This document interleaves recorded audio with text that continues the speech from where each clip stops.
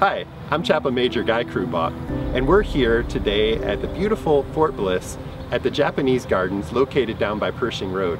A lot of you have probably been to this garden and not realized that there's something in the very back of this garden that has a really important message. And that's what we're going to talk about today. Our message today is going to be about perspective. And how do we gain perspective? And what's the importance of perspective as a leader?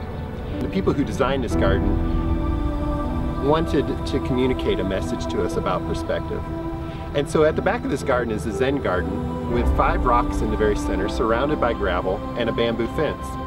And if you stand in one spot along that fence and you look at the garden, you can only see a portion of the rocks.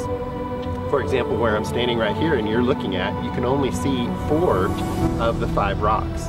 But if you move left or right, two feet or three feet, suddenly another rock comes into view.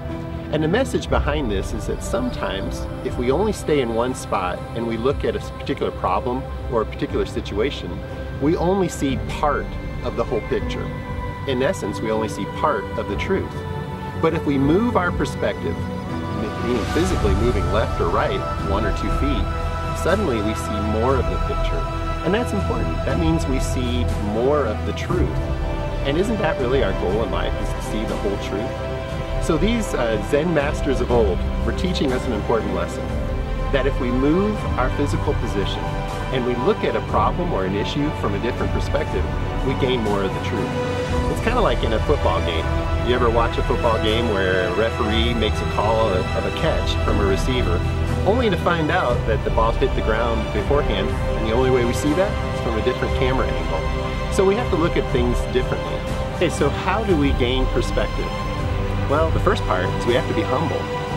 Uh, sometimes we may think we have the best idea, and somebody else, even somebody younger than us, somebody with less military experience, somebody who's not even in the military, may have an idea that's better than what we have. And so we have to physically move our position and say, you know what, maybe my idea isn't the right idea.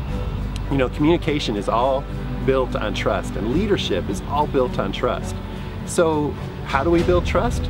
Well, sometimes it means taking the time to communicate clearly, but also taking a moment to listen to what other people say, to listen for new ideas, new perspectives, new uh, angles of how to see something, so that when we do that, we don't just see part of the whole picture, we see the whole picture. And it takes a humble person sometimes to do that. But as a leader, if we can be humble, if we can take the time to listen to others, I think we'll see more than one rock and we'll solve more problems faster, better, and we'll have a better outcome if we do that. I'm Chaplain Guy Crubaugh. Thank you for your time. Dagger, sharpen the edge.